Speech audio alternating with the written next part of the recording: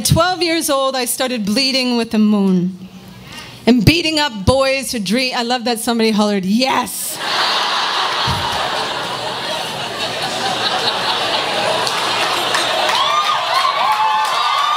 Yes. At 12 years old, I started bleeding with the moon and beating up boys who dreamed of becoming astronauts. I fought with my knuckles white as stars and left bruises the shape of Salem. There are things we know by heart and things we don't. At 13, my friend Jen tried to teach me how to blow rings of smoke. I'd watch the nicotine rising from her lips like halos, but I could never make dying beautiful. The sky didn't fill with colors. The night, I convinced myself veins are kite strings you can only cut free. I suppose I love this life. In spite of my clenched fist, I open my palm and my lifelines look like branches from an aspen tree, and there are songbirds perched on the tips of my fingers. And I wonder if Beethoven held his breath the first time his fingers touched the keys, the same way a soldier holds his breath the first time his finger clicks the trigger. We all have different reasons for forgetting to breathe. But my lungs remember the day my mother took my hand and placed it on her belly and told me the symphony beneath was my baby sister's heartbeat. And I knew life would tremble like the first tear on a prison guard's hardened cheek, like a prayer on a dying man's lips, like a vet holding a full bottle of whiskey, like an empty gun in a war zone. Just take me. Just take me. Sometimes the scales themselves weigh far too much.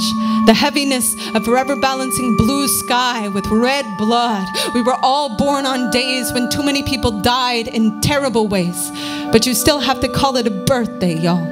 You still have to fall for the prettiest girl on the playground at recess and hope she knows you can hit a baseball further than any boy in the whole third grade. And I've been running for home to the windpipe of a man who sang while his hands played washboard with a spoon on a street corner in New Orleans when every boarded up window was still, painted words, We're coming back, like a promise to the ocean that we would always keep moving towards the music, the way Basquiat slept in a cardboard box to be closer to the rain.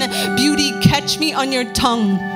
Thunder, clap us open. The pupils in our eyes were not born to hide beneath their desks. Tonight, lay me down to rest in the Arizona desert, then wake me to wash the feet of pregnant women who climbed across the border with their bellies aimed towards the sun. I know a thousand things louder than a soldier's gun.